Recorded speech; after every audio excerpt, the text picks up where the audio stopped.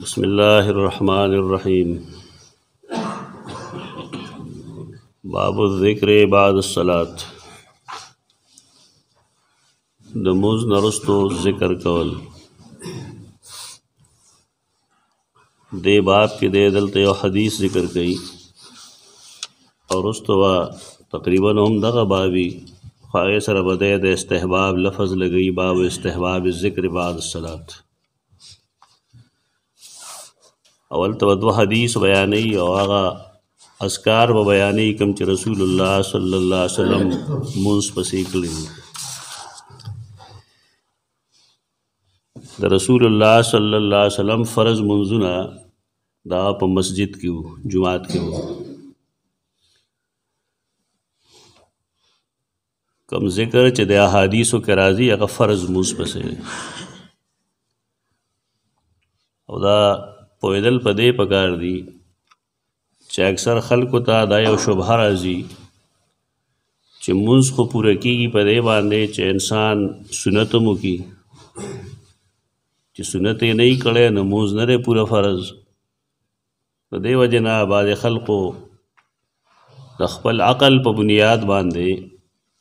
د بعد الصلات نه مراد د سنت منځ غسته ده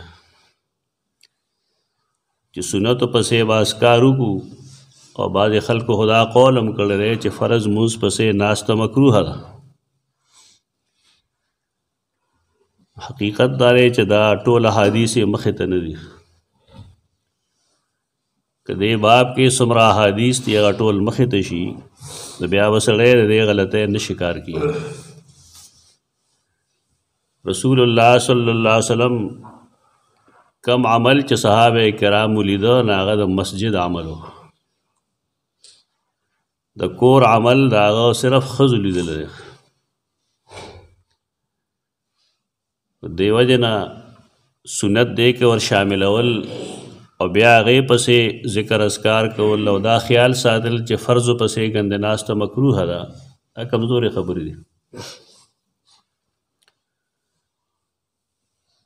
پاکو هند کې یو ډېر لوی عالم دی شاه ولی الله محدث دهلوی رحمت الله تعالی علیه دلته څومره خلک چې مسلمانان دي او عالمان دي کداغي هر مکتب فکر سره تعلقي نو داغي سند کې وا شاه ولی الله خامخای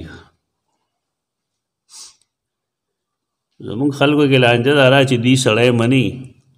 خو د هغه فکر یا د هغه قول هغه نه ګوري او د دې وجه نه ډېر ځایونو کې زمونږ جنګونه راشي هېڅ بې څه حال دا چې دین در جنګ شی نه دی دا د بحث او د مباحثې څیز دی د زده کړې سیز ده یو سړي یو رائے ورکړه خطا ده نو تاسو حدیثونه ډیر شی ولوستل چې صحابه کرام به روک ټوک کو دا بچانه وی چې دا زما رائے ده ما ویلي دی د ته غلط ثابته کا دا فرعونی ذهن ده دین کې دا زونه نه چلیږي دین دلیل غواړي شاہ ولی اللہ محدث دہلوی رحمت اللہ تعالی علیہ دا حدیث ټول لیکلی دی دا یو مختصر کتاب دی حجت الله هل بالغت دا غي دویم ځل کې غدې نه بحث کړي چې د نبی کریم صلی الله علیه وسلم طریقه سوا موږ کې نو طریقه دا غي دا وا چې غي با فرض منځ کو سلام چې به وګرځو نو قبله ته لږ غوندې سات د امام مخ راځي که مخ چې راځي نو پې کې رسول الله صلی الله علیه وسلم دومره پوری سارو چې پې کې به اللهم انت السلام ومنک السلام تبارک یا ذل جلال والاکرام ویل شو دکه هغه مسنون دعا ده کومه چې فرض مونږ پسې ده سمدستي دغه امر بناستو ناغه نرستو به بیا داغه خوخوا کور ته ځي صف ته راځي او که کینی نو کې کیناسته به بل فرض په دې کې دا قید نه لګولې چې دا سنت پسې او کدا فرض پسې او دا داسې فرض چې سنت ور پسې او کنه نو نه هر فرض پسې که کیناسته به نو استقبل علینا بوجهه مونږ ته به مخ او بیا به اسکار کول هغه اسکار به دومره پوری وو په دې ځان په یول پکار دی چې هغه زمانه کې مسجد نبوي کې زنانه بم راتلې او شاته صفونو کې پرده کې واغی ولاړې وي د نبی کریم صلی الله علیه وسلم دې طرف ته د مخ کولو خو یو مقصد دار چې ما خپل شاګردان صحابه کرام مقتدیان ښکارش او دویم دا چې کله به ولیدل چې آخري زنانه هم د مسجد نه ووته نو د هغې نه وروسته به رسول الله صلی وسلم پاڅېده وبوت دا منډه نه وي دا کوم چې زموږ خلک منډې وایي فرض سلام ګرځولو سره منډه کي بیا د غل تبار لاړی ګپې لګي سنت نه کوي دا بې دیني ده دا دین نه ده دا طریقه و د رسول الله صلی الله علیه وسلم فرمایل به ترکوي چې تاسو زنیم لدی چې پاسې دم نو تاسو باندې پاسه په دې مقصد باندې چې زنانه او سره د دې سمیل ملا پرانش دا مقصد په دین کې دا کم ټایم چې کیناسته کې دا ستا به خیال زنانه به څومره وخت کېوځي چې د مدینې منورې زنانه یې په جماعت ته راغلي دي څلوېښت پنځوس شپېته کسان یې بالفرض زنانه مزاج نه به تاسو واقف یې چې دې د یو ځای نه وځي نو څومره ټایم اخلي دا خبرې مه کوه چې ناسته مکروه ده دا ډېره غلطه خبره کوي دا اثر ډېر لرې پورې ورسېد د دې وجه نه علماء دیوبند کتابونو کې دا لیکلي دي چې فرض مونځ پسې د دوو رکعتونو په مقدار باندې ناسته مستحب ده دا مکروه نه ده خوا به سړی هسې نه کینی اسکار وکړي یعنی بسم الله به وي سبحان الله به وي الحمدلله به وي قرآن به لولي هغه اسکار به کوي کوم چې به دی ښیي موږ ته رستو سبحان الله الحمدلله الله اکبر لا اله الا الله اشهد ان لا اله الا الله نور به شمېر اسکار دي او د اسکارو نه به تېښته نه کو دې ته مکروه نه وایو فرض مونځ چې وشي او د نبی کریم صلی الله علیه وسلم لومبنی کار دا و چې کبره الله اکبر به ووایي او هغې پسې به یې درې ځله وفرمایل استغفر الله استغفر الله استغفر الله دا مطلب نه چې مونږ یو کنه کنه ګناه یو کو دا زموږ د عجم یو سوچ دی چې استغفار هغه ځای کې راځي چې ګناه شوي استغفار کله کله د درجه د بلندېدو د پاره راځي استغفار کله دې د پاره چې لکه څه خفقان راشي دا غي د ختمولو د پاره راځي محدثینو خو به استغفار د روکسیز د پاره موخ لکه یو سړی دی یو شی چېرته کېښود یې د کوم ځای مې اخلي دوه ځلې به استغفار وی وموند مطلب دا چې سړی د خپلې کوتاهۍ اقرار کوي چې ربه ما نه څه خطا شوې ده ځکه زما حافظه خرابه شوه ما نه څه خطا شوې ده ما نه څه خطا شوې ده د بار کیف طریقه د غدا چې فرض موز پسې وکینو او ذکر اسکار وکړو لیکن د چغو وال ذکر نه زکا چې رسول الله صلی الله علیه وسلم فرض موز پسې پچغه ذکر نه کړي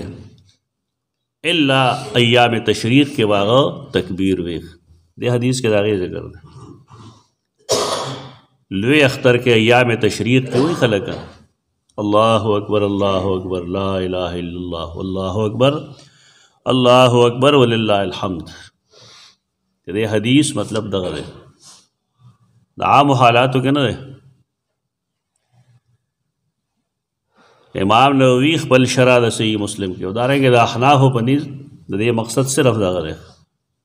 چې دینه مراد تکبیرات د تشریق دي لکه د حدیث کې لفظ د تکبیر دی الله اکبر ویلو سره فرض موز پسې ذکر اسکار شته کې چغي نشته مونږه مقامات خودلی دي چې شریعت سم مقامات خودلی دي چې پای کې انسان لا چغه باندې ذکر پکار دی خاص مقامات دي قران او حدیث هغه خودلی دي د رسول الله صلی الله علیه وسلم په عمل کې هغه ښکار دي او په کې اصل مقصد خلق خبرولی ذکر دی لیکن خلق خبرولی لکه بان دا ذکر دی لیکن خلق خبرول دی دی خبره نه چې د موز ټیم شو ذکر دا په چغه ویل کیږي د جهر وای دارنګ اقامت کې خلق خبرول دی ذکر په دې کې مونږه جهر کوو ایګه وایو قد قامت الصلاه قد قامت الصلاه خلک خبرول دی پای کې مجلس ته یو سړی راشي نه بل تخکاره وي السلام علیکم اخو ذکر دی دعا ده دا دې لپاره پخکاره وي چې خبر شي دیو جواب کې وعلیکم السلام خکاره وي د دې لپاره چې هغه ته پته ولګيږي چې او د ماته وعلیکم السلام وي پرنجې چې بنی آدم وکړي نو دی به الحمدلله وایي ښکاره به یې وایي د دې دپاره به یې وایي چې دا بل راته هم دعا وکړي نو دا بل به ورته یرحمک الله ووایي امام چې کله مونځ کوي نو بعضې منځونو کې هغه جهر کوي او بعضو کې سر کوي او دارنګه تکبیرات د انتقالات ښکاره وي ولې مقتدیان خبرول مقصد دی راغی امام که څه خطا وکړي نو مقتدیان له پکاري چې ته سبحان الله وایي لقمه چې ورکوي زمونږ علاقو کې خدا رواج نشته دلته کې خلک یا ټکې سم کی آیا ورته وي الله اکبر یا پاسه یې کې نه لیکن سنت هغه تسبیح ویل دي نارینه و دپاره د زنانه و دپاره تصفیق دی تصفیق داره چې د خلاص تله د ګس لاس د تلی شال رو بغي یعنی یو قسم आवाज شي لیکن تاړه دی جوړ نشي استاد چې شاګرد شاګرد چې استاد چې شاګرد ته سبق خي هغه جهر سره خي ولې دا هغه پویول مقصد دی تعلیم مقصد دی او دارنګه تکبیرات تشریق دا تقریبا لس مقامات داسي تلویه هم په چغه ویل شي دا ثابت دي لبیک اللهم لبیک دا په چغه اوس بل ځای کې دا لس یولس مقامات ما خودل ته دین علاوه بل ځای کې په دین کې په چغه باندې ذکر نه دی ثابت بس نه ثابت نه وکړو چې کم ځای ثابت ته الته وکولی شي او چې کم ځای نه دی ثابت الته بن شي کولی منیت المصلی ذکر مونږ بار بار کوو پای کې هغه یو شرح دا حلبی کبیر ورته وایي پای کې د امام ابو حنیفه رحمت الله تعالی علیه مسلک لیکل قولی لیکل دی ولی بی حنیفه ان رفع صوت فی المسجد ولو بذکر حرام امام ابو حنیفه فرمایي چې جمعات کې اواز پورته کول حرام دي اگر که سړی پکې ذکر کوي موږ چې سختی کو په بعضې خلک خبرو باندې نو خلک خفه کېږي خفګان خبره نه ده جمعات د عبادت ځای دی دلته به اواز کم ساتي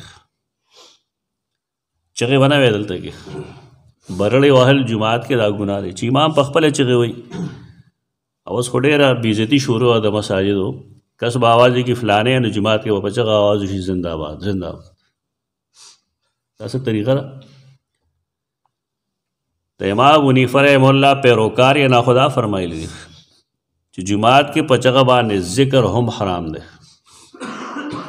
ما سیوا دا غنا استثناء الشرع چې شریعت هغه خودلی دي هغه مقامات چې کوم ما خودل صرف دغه خودلی دي په جماعت کې چې زنده باد او د مرده باد څه حیثیت ده ډېر افسوس دی ډېر افسوس دی چې علما ډېر سستی کوي دې باب کې د جماعت احترام خو خلقو ته د رسول الله صلی الله علیه وسلم سنت خو چې جماعت کې ودا سونه نه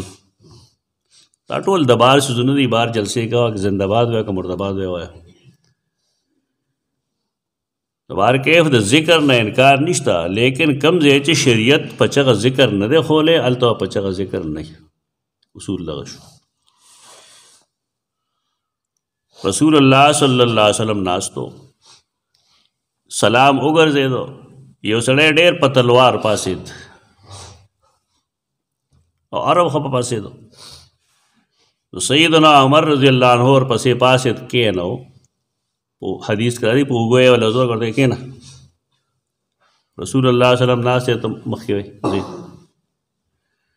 رسول الله صلی الله علیه وسلم فرمایل اصابک اصابک الله یا ابن عمر یا ابن الخطاب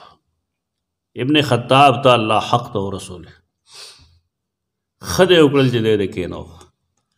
او وی فرمایل مخکنی قومونه خو الله تبا کړو دا غي تبا غن اسبابو یو سبب پکې دا هم چې دا غي د دوه منځونو میاس کې وا فرق نو جدائی ونو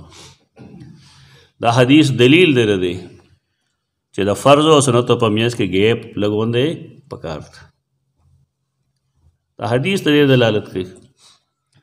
چې کینې یا نو سره کینې غپ لې کینې که ذکر لې کینې